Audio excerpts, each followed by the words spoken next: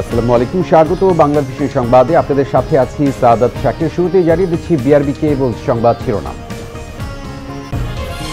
দেশে করোনার ভয়াল রূপ রাজধানীর হাসপাতালগুলোতে হিমশিম দশা, ভারতের অবস্থা আরও করুন লকডাউনের তৃতীয় দিনে রাজধানীতে রিকশা এবং ব্যক্তিগত গাড়ির দাপট, অলিতে গলিতে মানুষের ব্যাপক উপস্থিতি। আজ মিলবে খালেদা জিয়ার সিটি স্ক্যানের পূর্ণাঙ্গ রিপোর্ট। বিএনপির কারণে মানুষের লকডাউনে অনীহা জাগতে পারে বলেছেন ওবায়দুল কাদের।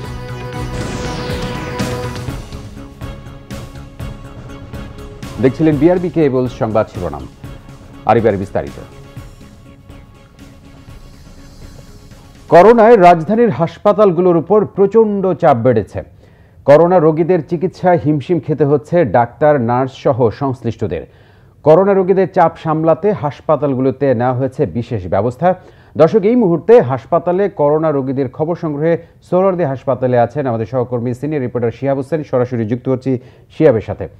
শিহাব সোহরাদি হাসপাতালের অবস্থা কেমন দেখছেন? সেখানে করোনা রোগীদের চাপ কেমন দেখছেন আপনি? শাকের, আপনাকে ধন্যবাদ। করোনা রোগীদের চাপ আসলে আছে, শুরু থেকেই আছে, এবং এখানে সবগুলো বেডই প্রায় কিন্তু পূর্ণ রয়েছে করোনা রোগীদের জন্য, এবং একটি নতুন যে বিষয় এখানে সমস্যার সৃষ্টি করেছে, এই শুধু এই হাসপাতালে না, সব হাসপাতালগুলোতে আমরা দুটো হাসপাতাল সকাল থেকে ঘুরে দেখেছি, তো সেটি হচ্ছে যানবাহনের সংকট। আপনি জানেন যে করোনার ভয়াবহ সংক্রমণ ঠেকাতে সরকার অনেকটা অগত্যা হয়ে সর্বাত্মক লকডাউন দিয়েছে।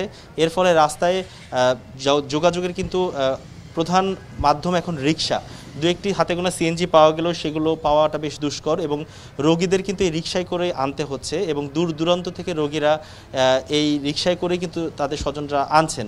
যারা অ্যাম্বুলেন্স যারা ব্যয়ভার বহন করতে পারছে না তাদের জন্য। যেমন আমরা দেখেছি যে কামরাঙ্গীর চর থেকে সকালে একজন রোগীকে নিয়ে আসা হয়েছিল।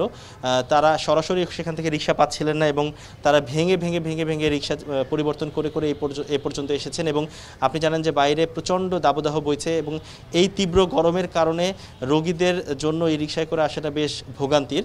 এবং তারা বলেছেন, সকাল থেকে যারা আমাদের, যাদের সাথে কথা হলো, তারা জানিয়েছেন যে শুধু রিক্সা না সিএনজিতেও অতিরিক্ত ভাড়া আদায় করা হচ্ছে এবং এটা আসলে দেখার কেউ নেই।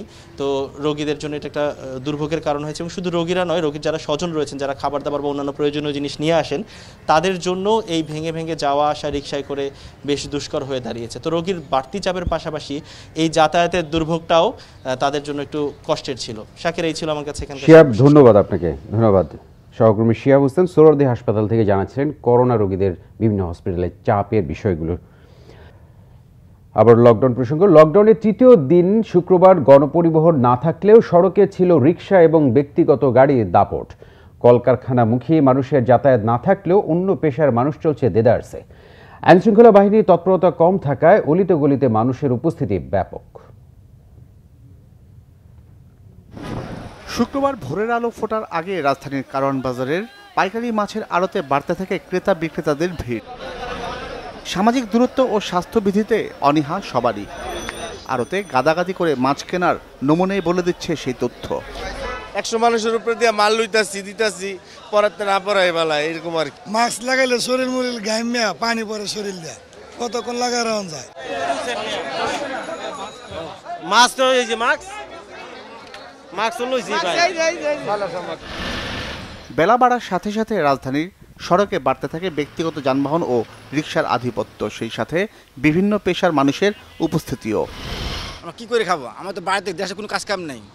আমার তো খাওয়া লাগবে পেটের দায় আমরা আসছি এক সপ্তাহ বা একুশ দিনের লকডাউন আমাদের মতো মিডল ফ্যামিলির জন্য অনেক বড় ধরনের একটা ক্ষতি বলা যায়। তারপর জীবন বাঁচাতে হবে পেটও বাঁচাতে হবে। দুটার জন্য বের হয় রাজধানীর প্রধান সড়কগুলোতে চেকপোস্ট বসিয়ে তল্লাশি কার্যক্রম অব্যাহত রয়েছে আইনশৃঙ্খলা বাহিনীর। গার্মেন্টসের কার্ড আছে তারপরে ডক্টরস আছে তারপরে ফার্মেসির লোকজন আছে অনেকের মুভমেন্ট পাস আছে মোবাইলে দেখাচ্ছে এই এইভাবেই ছেড়ে দিচ্ছে আর কি। প্রধান সড়কের তুলনায় লকডাউনের কঠোরতা কম ছিল রাজধানীর অলিগলিতে। আইনশৃঙ্খলা বাহিনীর তৎপরতা কম থাকায় অনেকেই মানছেন না স্বাস্থ্যবিধি। ভুলে গেছে। ভুলে গেছে। কি ভুল হয়েছে বলো তো? যে সামাজিক দূরত্ব বজায় রাখিনি। ভ্রাম্যমান দোকানপাট খোলা থাকলেও লকডাউনে বন্ধ রয়েছে বড় শপিং মল ও দোকানপাট। জিয়া খান বাংলা ভিশন ঢাকা। দর্শক, লকডাউনের তৃতীয় দিনে সংবাদ সংগ্রহে রাজধানীর বাইতুল মোকরম এলাকায় আছেন আমাদের সহকর্মী মাইনুল শোভন। সরাসরি যাচ্ছি শোভনের কাছে। শোভন তৃতীয় দিনে লকডাউনের চিত্র রাজধানী বাইতুল মোকারম এলাকায় কেমন দেখছেন এবং বাইতুল মোকারমে যেহেতু রমজানের প্রথম জুমা ছিল মুসল্লিদের উপস্থিতি কেমন দেখছেন সেখানে? ধন্যবাদ শাকের আপনাকে প্রথমেই আপনি যে প্রশ্নটি করেছেন, তার উত্তরে বলা যায়। আসলে আজ আপনি জানেন শুক্রবার, তো শুক্রবারের জুমার নামাজ কেবল শেষ হলো, তো এই সময়টাতে স্বাভাবিকভাবেই একটু রাস্তায় যান চলাচল কম থাকে। সেই হিসাবে এখন রাস্তায় যান চলাচল একেবারে খুবই কম বললেই চলে। তবে সকাল থেকে আমরা যেটি দেখেছি যে রাস্তায় বেশ কিছু ব্যক্তিগত গাড়ি এবং রিক্সার চলাচল আমরা দেখতে পেয়েছি। প্রসঙ্গক্রমে উল্লেখ করা প্রয়োজন যে সরকার যে মুভমেন্ট পাস দিয়েছে, অর্থাৎ লকডাউনের মধ্যে চলাচলের জন্য, সেই মুভমেন্ট পাস কিন্তু অনেকটাই সহজতর হওয়ায় যারাই সকালে রাস্তায় বেরিয়েছেন, সবাইকেই আমি দেখেছি যে মোটামুটি মুভমেন্ট পাস আছে। কিছু সংখ্যক মানুষের কাছে মুভমেন্ট পাস ছিল না তাদেরকে মানবিক বিবেচনায় পুলিশ তাদেরকে ছেড়ে দিয়েছে। তবে যারা বেরিয়েছেন, তাদের বেশিরভাগের অজুহাত ছিল শুক্রবার হিসেবে যে বাজার করার উদ্দেশ্যে তারা বেরিয়েছেন। তবে শুক্রবার আমরা আজকে যে চিত্রটি দেখতে পেয়েছি, গতকাল বৃহস্পতিবার আমরা যে চিত্র দেখেছিলাম যে রাস্তায় পুলিশের বাড়তি কড়াকড়ির একটা অবস্থা, সেটি আজকে আমরা দেখতে পাইনি। অনেক চেকপোস্টে দেখেছি যেখানে পুলিশের চেকপোস্ট আছে ঠিকই, কিন্তু সেখানে আইনশৃঙ্খলা রক্ষাকারী বাহিনীর উপস্থিতি একেবারেই বলতে গেলে প্রায় ছিল শূন্য। এই ছিল আজকের লকডাউনের পরিস্থিতি। আর আপনি যে দ্বিতীয়টি প্রশ্ন করেছেন, যে অর্থাৎ আজকে রমজানের প্রথম শুক্রবার, প্রথম শুক্রবারে মুসলিদের উপস্থিতির কথা বলতে গিয়ে বলতে হয় যে আসলে সরকার রমজান উপলক্ষে একটা নির্দেশনা দিয়েছে, অর্থাৎ মসজিদে মুসল্লিদের বিষয়ে। সেই নির্দেশনাটি তারাবি নামাজের ক্ষেত্রে সেখানে বিশজন মুসলিম উপস্থিত হতে পারবে। কিন্তু জুমানা নামাজের ক্ষেত্রে সে ধরনের কোনো ধরনের কোনো মুসল্লিদের উপস্থিতির বিষয়ে কোনো ধরনের নির্দেশনা নেই। তবে স্বাস্থ্যবিধি মানার নির্দেশনা আছে। বাইতুল মোকারমের পরিস্থিতি যেটা ছিল যে অন্য অন্য দিনের চেয়ে অন্যান্য শুক্রবারের চেয়ে তুলনামূলক মুসল্লিদের উপস্থিতি কম ছিল তবে একেবারেই কম ছিল সেটিও বলা যায় না। সবাই মুসল্লিরা তারা যেটি কায়মনোবাইকে আল্লাহর কাছে যেটি প্রার্থনা করেছেন যে আল্লাহ এই মহামারীর সময় আল্লাহ যেন সবাইকে সেই মহামারী থেকে মুক্ত করে এবং এই দেশকে যাতে মৃত্যু সংখ্যা কমিয়ে দেয় আল্লাহ সেই বিষয়টি তারা মুসল্লিরা তারা প্রার্থনায় তারা ফরিয়াদ জানিয়েছেন। শাকিব জি, এই ছিল ধন্যবাদ। আন্তর্জাতিক ফ্লাইটে লকডাউন শিথিল করা হচ্ছে। সৌদি আরব সৌদি আরব আরব আমিরাত, কাতার, ওমান ও সিঙ্গাপুরের ফ্লাইট চলবে শনিবার থেকে। এই পাঁচ দেশের বিশ হাজার প্রবাসীর মধ্যে যাদের ভিসার মেয়াদ কম এবং বিমান টিকিট করা ছিল, তারা অগ্রাধিকার পাবেন বলে জানিয়েছেন পররাষ্ট্রমন্ত্রী ডক্টর এ কে আব্দুল মোমেন।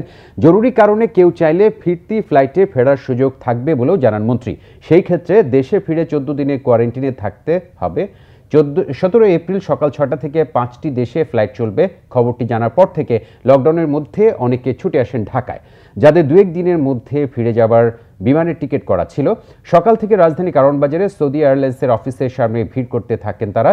এদিকে সৌদি এয়ারলাইন্সের পক্ষ থেকে জানানো হয়, বিকেল সাড়ে চারটার পর এই বিষয়ে চূড়ান্ত তথ্য জানাবেন তারা। চোদ্দ এপ্রিল থেকে দেশে কঠোর লকডাউনের কারণে বন্ধ করে দেওয়া হয় আন্তর্জাতিক রুটের সব ফ্লাইট। পরে বিভিন্ন মহলের দাবির প্রেক্ষিতে আন্তঃ মন্ত্রণালয় সভায় ফ্লাইট চালুর সিদ্ধান্ত নেওয়া হয়।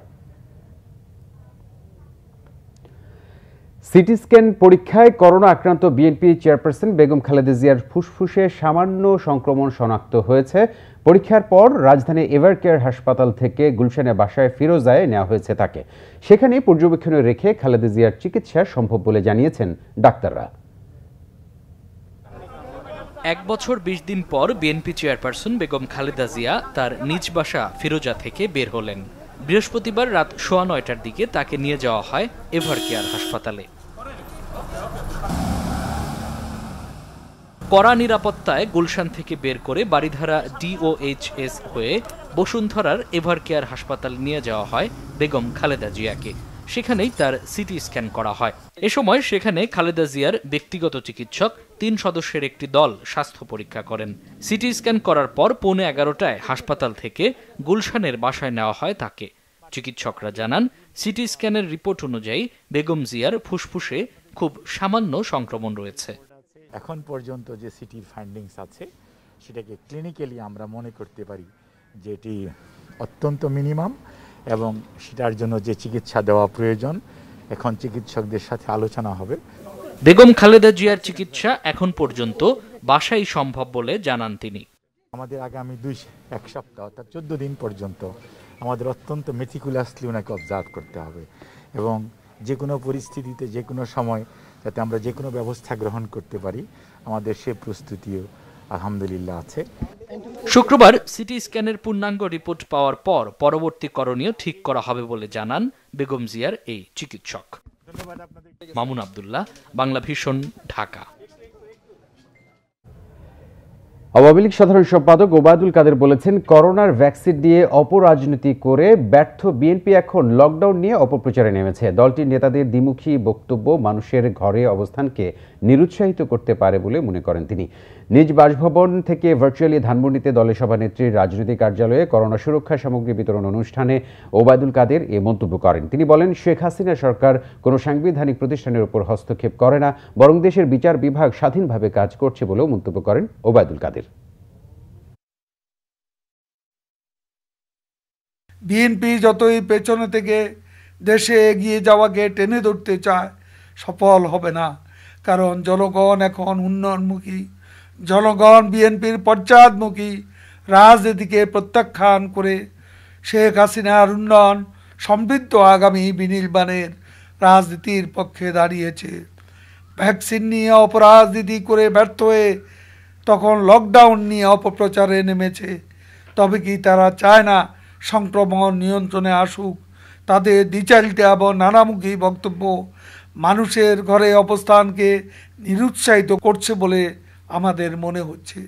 আমি আওয়ামী লীগের নেতাকর্মীদের লকডাউনের কারণে শুক্রবার ছুটির দিনেও ক্রেতা নেই রাজধানীর ব্যস্ততম কারওয়ান বাজারে। অলস সময় কাটে বিক্রেতাদের। তবে রোজার আগে থেকেই বাড়তে থাকা মুরগির দাম আরও বেড়েছে। শশা বেগুন সহ ইফতার সামগ্রীর সহায়ক সবজির দামও বেশি।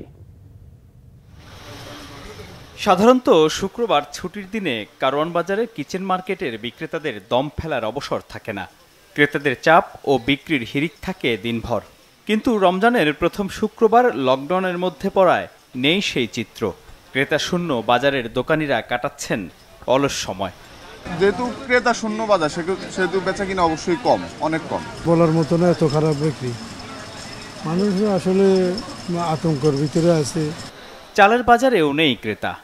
খুচরা ও পাইকারি কোনো ক্রেতাই আসছে না কারওয়ান বাজারে। সকাল হইতে এই পর্যন্ত মাত্র দশ কেজি চাউল বিক্রি করছে। হ্যাঁ এই অবস্থা আমার অনেকে দেখা যায় বিসমিল্লা করতে পারে না। বাড়তি দামে বিক্রি হওয়া মুরগির বাজার আগের মতোই। দেশি মুরগির দাম লাগামহীন দাম বেশি সব ধরনের মুরগিতেই। তিনশো সাড়ে তিনশো টাকা ছিল দেশি মোরগ সেই মোরগ এখন ছশো টাকা মার্কেট রেট। যে পরিমাণে মুরগির চাহিদা এই পরিমাণে মুরগি পাওয়া যায় না। এই জন্য মুরগির দাম বাড়তি। লকডাউনে কোথাও কোনো বাজার নেই এই কারণে আমি হাঁটতে হাঁটতে রাজা বাজার কারণ বাজার আসছি। কারণ মাছ কিনলাম কিছু মোরগ কিনলাম। ইফতারে শশা আর বেগুনি সকলেরই পছন্দের তাই দাম বাড়ার ক্ষেত্রে এগিয়ে সবজি দুটি। অন্য সবজির দাম স্থিতিশীল। বেগুনের দামটা একটু বাড়তি তাছাড়া সবজি টবজি আগে যেটা কিনছে ওই রকমেরই বেগুন আজকে কিনছে আশি টাকা। কাস্টমার নাই বলতেই চলে জায়গায় জায়গায় গাড়ি টাড়ি রিক্সা টিক্সা বন্ধ করে দেয় কাস্টমার আসবে কীভাবে? টমেটোর খালি দাম কম এমনি শসার দাম মনে করেন একশো টাকা আশি টাকা নব্বই টাকা তারপরে বেগুন আছে বেগুন আশি টাকা নব্বই টাকা কেজি। এগুলো তো আমাদের হাতের নাগালের বাইরে। এত কিছুর পরও রমজানে অতি প্রয়োজনীয় পেঁয়াজের দাম আগের মতোই। মিরাজ হোসেন গাজী বাংলা ভিশন ঢাকা।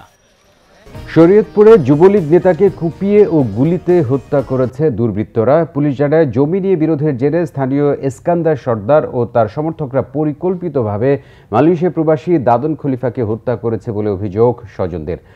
ঘর ঘর খলিফা কান্দি মসজিদের কাছ থেকে গত রাতে তারাবির পরে দাদনকে তুলে নিয়ে যায় সন্ত্রাসীরা। পরে পাশের একটি পাট খেতে দাদনকে কুপিয়ে ও গুলি করে ফেলে যায়। স্থানীয়রা জানায় সেখান থেকে শরীয়তপুর সদর হাসপাতালে নিয়ে যায়।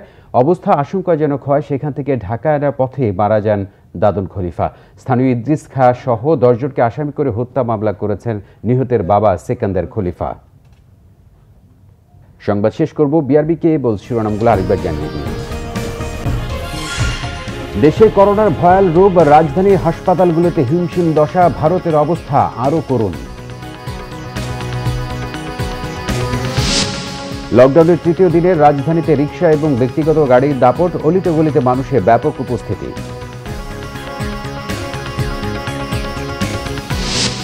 আজ মিলবে খালেদা জিয়ার সিটি স্ক্যানে পূর্ণাঙ্গ রিপোর্ট। বিএনপির কারণে মানুষের লকডাউনে অনীহা জাগতে পারে বলেছেন ওবায়দুল কাদের।